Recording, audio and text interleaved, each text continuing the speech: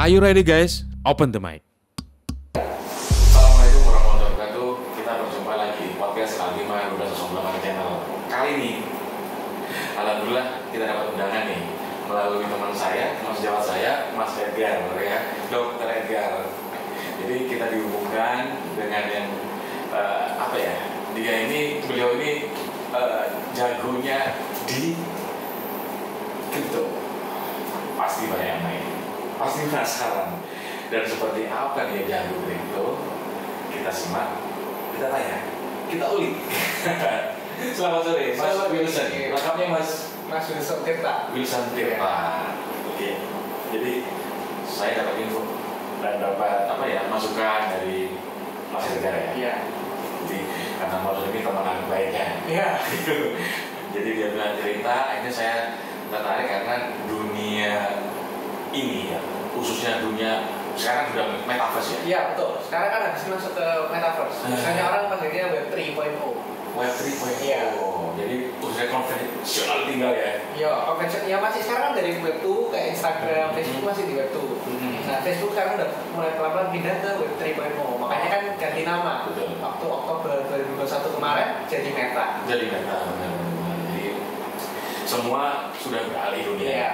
Jadi eh, saya tertarik banget datang ke gimana Wilson ini kan apa ya indah sekali ya. Istilahnya.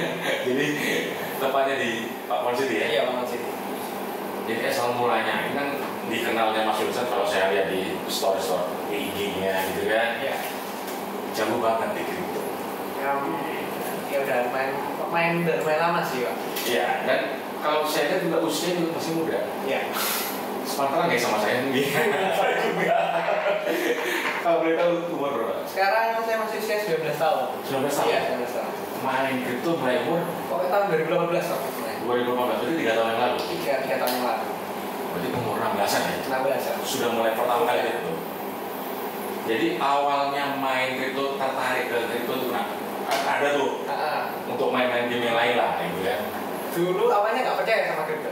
Dulu aku mainnya saham dulu awalnya. Saham, Saham. jual beli saham. Iya pasar saham Oh, Indonesia. oke. Yang kayak Bank Indonesia, BRI, BNI kayak gitu. Terus jadi sempat lihat di YouTube ada tentang pembahasan tentang Bitcoin.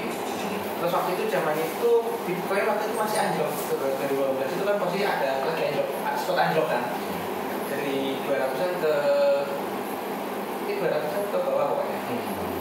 terus di situ waktu itu aku belajar fundamentalnya dulu kalau ternyata itu ya memang harus percaya dengan masa depan sih kalau cryptocurrency ini lebih tepatnya Hmm. karena kan aku lihat dulu pertama kan kita sistem pembayaran barter ada uang koin habis itu uang kertas Hmm.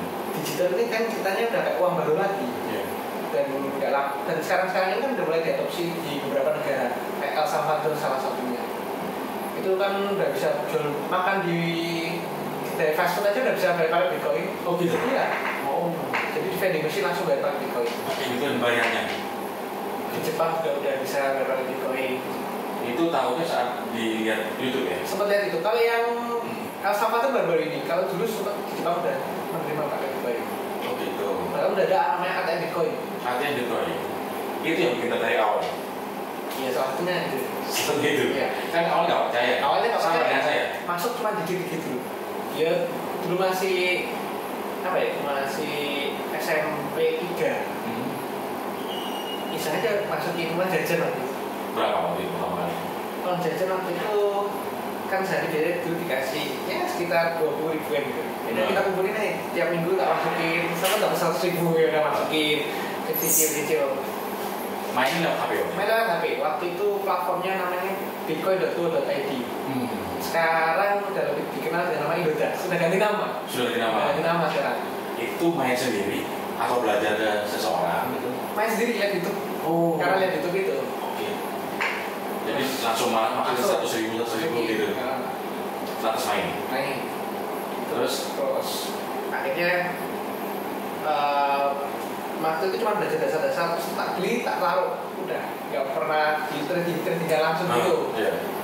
terus baru menserisi lagi itu terakhir 2019 kira-kira 2019 akhir atau 2020 Hmm. kok tak lihat mulai bumi-bumi lagi. Jadi sempat ditinggalkan? Sempat ditinggalkan. Karena?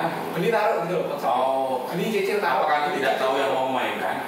Atau nggak ada waktu? Karena percaya fundamental aja beli cicil taruh beli cicil taruh gitu terus. Jadi nggak dimainin? Dari mana berapa lama tuh nggak dimainin? Dari 12 akhir sebenarnya ya kurang lebih tahunan tahunan dibiarkan aja? Biar enggak apa yang terjadi ternyata waktu itu sempat naik lumayan sih.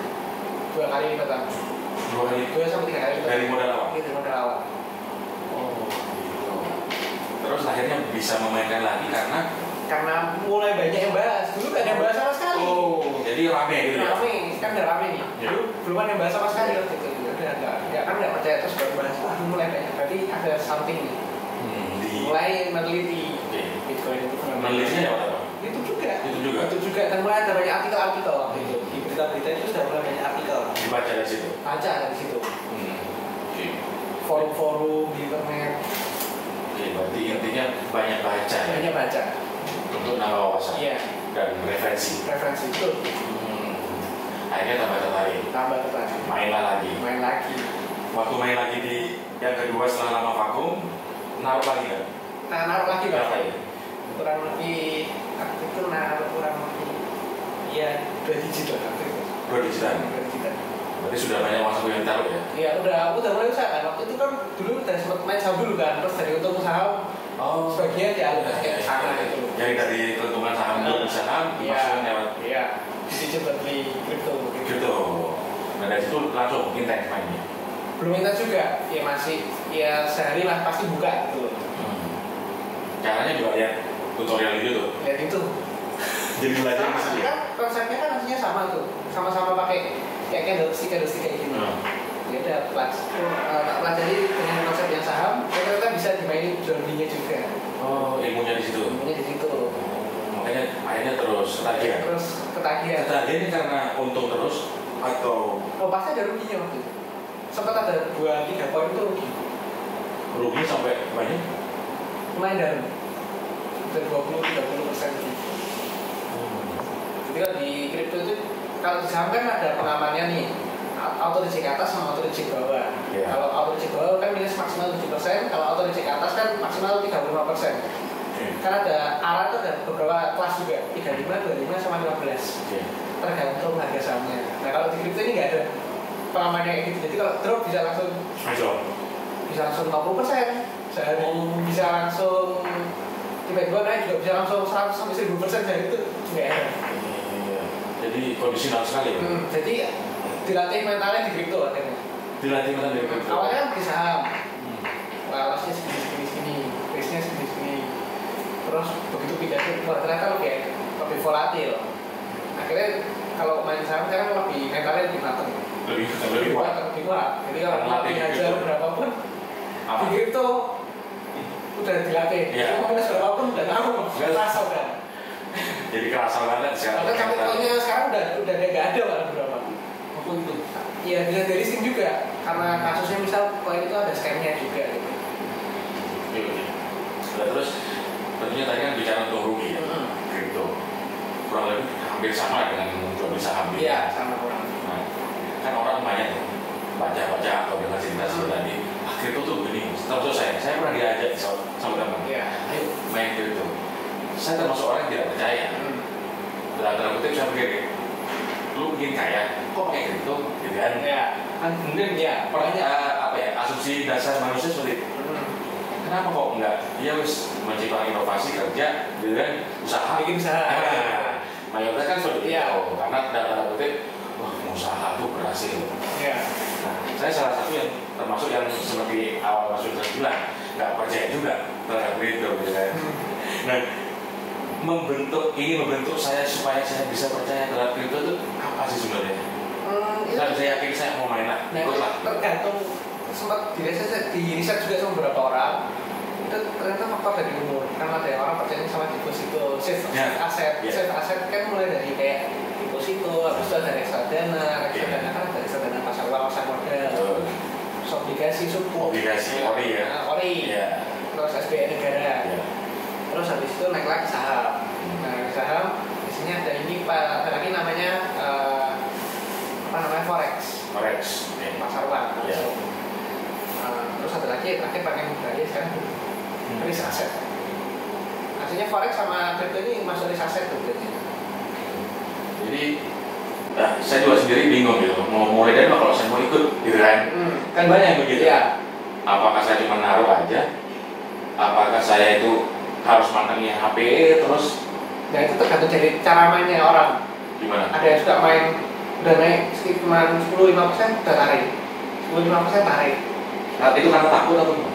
bukan ada memang ma- sistemnya ada yang main Strat- strategi. strateginya banyak kan strateginya ada juga yang mau investing lama ya beli bitcoin aja sekarang. Beli 10 koin besarnya kripto lah. Kayak bitcoin, ethereum, terus BNB, ada, XRP, Solana macam-macam Jadi kalau menurut Mas Yusuf, kalau misalnya orang ingin terjun main juga di itu, nggak nggak salah ya? nggak salah tapi usahakan pakai uang dingin soalnya kan Kalau dingin gimana? yang benar-benar uang bukan uang pinjaman online Hmm. bukan uang utang dari mana pun lah pokoknya Oh, jadi uang uang. ini anggapnya uang lebih. uang lebih benar-benar lebih baru masuk ke situ Kalau kita mau bergambling atau berjudi dengan uang yang kita pakai sehari-hari jangan gitu ya. ya Untuk hidup misalnya. ya jangan rekomendasinya jangan Hmm. lebih baik pakai uang dingin tapi kalau misal pengen coba ya kan Ya. urusan tangan masing-masing Oh, jadi ke uang dingin atau uang lebih. Uang Jadi seakan-akan kalau misalnya rugi atau udah rela hilang pokoknya uangnya rela hilang berapa gitu aja berarti main itu harus siap eh, strateginya udah Rela siap hilang. rela hilang berapa ini sekarang Iya iya iya oke. Siap rela hilang. siap rela hilang Itu poinnya. Poinnya itu. Di iya. Tapi banyak orang kan ikut itu poinnya pingin untung, nah. Pingin cepet kaya. atau strateginya bukan di situ juga. Ada lagi strateginya. Setelah eh, pakai money management jangan lupa pakai risk management. Gimana? jangan pokoknya kalau rugi jangan dibalas aku pengen pengen masuk nambah lagi nambah lagi. Ah, makin ngejar itu ya. Nah, jangan. Ah, jangan greedy. Nggak boleh FOMO fear of missing out. Jangan takut ketinggalan kereta. Koin masih banyak kok.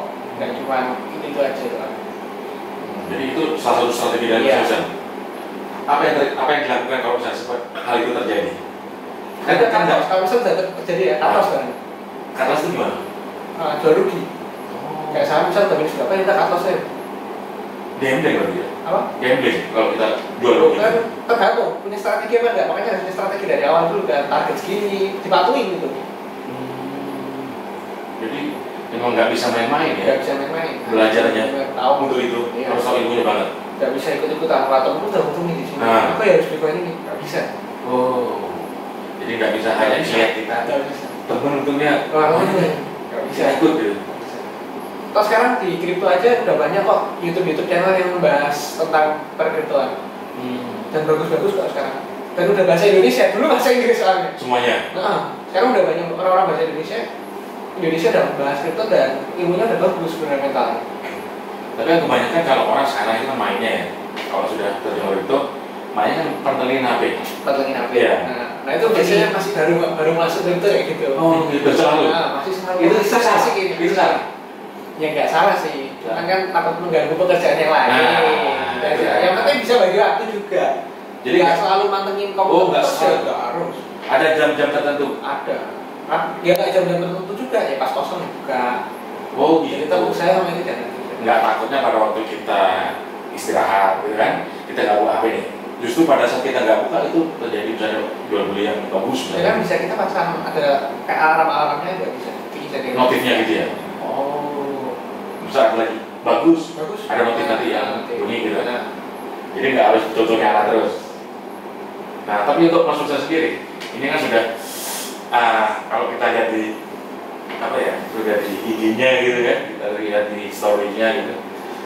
Karena kripto IG-nya sudah cetak biru misalnya. Gitu. bukan karena kripto sih. Oh, bukan karena kripto ya. Ya siapa tahu kan ya. Mungkin kita bacanya kan seperti itu kan orang awam saya dari orang luar gitu kan. Pantas kan kriptonya. Kira-kira kalau Mas Musa kan berarti orang pakai HP ya. Iya. Kalau Mas Musa sendiri pakai alat tertentu nggak sih main ini? Kalau alat tertentu ya memang pertama pakai HP. Cuman kan sekarang ada juga namanya yang baru masuk. Ya udah lama sih diperkenalkan namanya mining ring. Mining ring. Jadi di kripto kita sebagai validatornya. Oke, jadi nih ini salah satu ya, salah satu rahasia dari Mas. Alat lah. Nanti termasuk alat rahasia ya, Pak? Enggak rahasia. Enggak. Nah, Udah cukup populer juga sekarang. nah ini pasti di balik suksesnya Sus salah satunya mining rig. Ya. Nah, kita akan lihat mining rig-nya Mas Sus seperti apa. Kalau penasaran, pantengin terus. Kita akan lihat mining rig-nya. Yuk, kita lihat.